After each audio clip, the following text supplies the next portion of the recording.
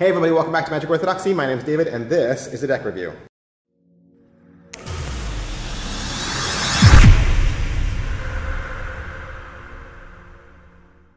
Hey, today we're going to look at the Absinthe deck from Ellusionist.com. Now, the Absinthe deck was part of the Prohibition box set uh, that Ellusionist re-released a while ago. Uh, the Prohibition box set was a six-deck box set. Uh, it was all um, alcohol-based decks of cards. Uh, it all it all came in like a big wooden box. Uh, that wooden box, the six deck box set, uh, it was limited to a 3,000 set run. And then since then, Ellusionist has released a few of those decks individually uh, for people who wanted to pick them up, and the Absinthe deck is one of those. Now, if you don't know what Prohibition was, uh, Prohibition in the United States, it was a nationwide constitutional ban on selling and making alcohol.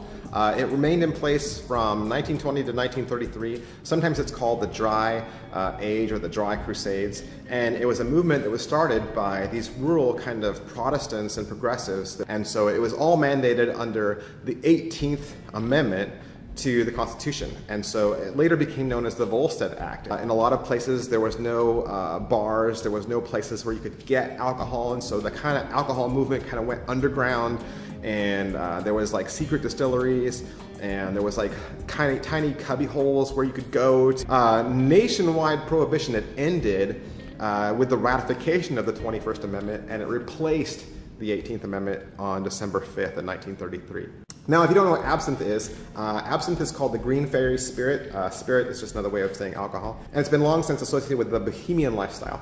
Uh, you got famous drinkers like Picasso, Van Gogh, Hemingway, Oscar Wilde, Toulouse-Lautrec, uh, to name a few. Uh, absinthe is also uh, portrayed in movie and film and book as being addictive and psychoactive, and it's a hallucinogen. so it's often associated with like this green fairy that dances around when you drink it and you get drunk. The tuck case is all done in black and silver. Uh, it says absinthe across the front, and it says there is a different world waiting to be discovered, only a sip away at the top. Um, very bohemian, lots of vine work uh, all throughout. It creates like this feeling like you're walking through like this mystical, smoke-filled fairy jungle. Uh, uh, it says premium playing cards down there, and then there's really tiny words on this tuck case, some of the which I can't even read with my glasses. Uh, kind of looks like it was a printing, I don't know, faux pas or something. They just didn't notice how small some of these, uh, some of this text was. In fact, there's really small text there on the top as well. It's very difficult to read. I know it says absinthe right there. You got a green tuck seal, which is reminiscent of the green feel that you're gonna feel uh, throughout the deck. The back design is the back design of the cards. Again, it looks kind of muted and muddy. I don't know if this is what they really wanted. Um, it is what the back design looks like, but it's just not as crisp and clean as the back design.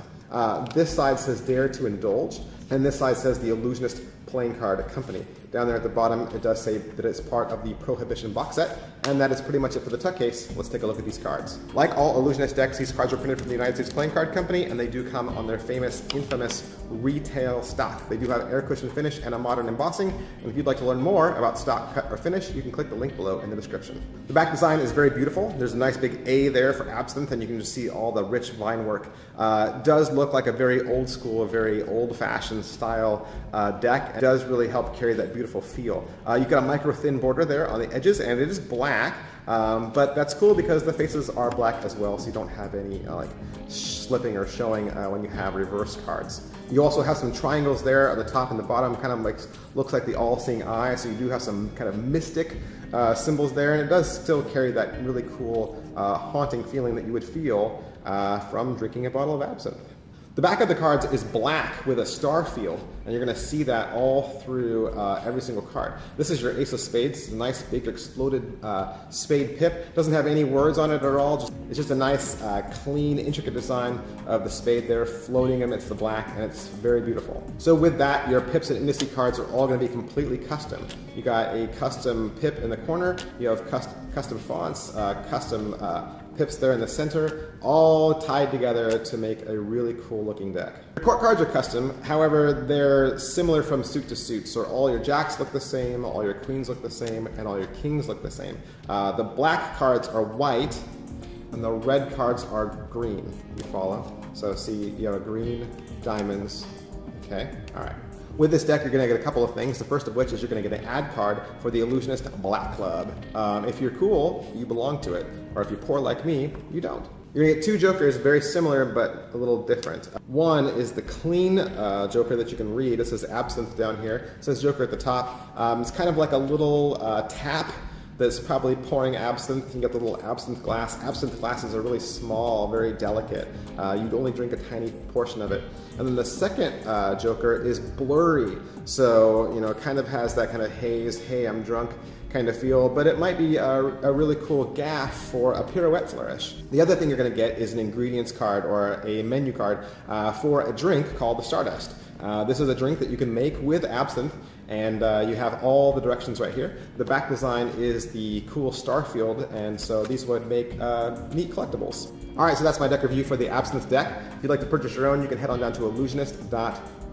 As always, recommend that you like this video just so other people can find it faster. We also recommend that you subscribe to this channel just to stay up to date on the latest in cards and card magic. Now, if you want to follow me on social media, you can. I'm at facebook.com slash magic orthodoxy, twitter.com slash magic orthodoxy, and instagram.com slash magic underscore orthodoxy. Thanks, bye.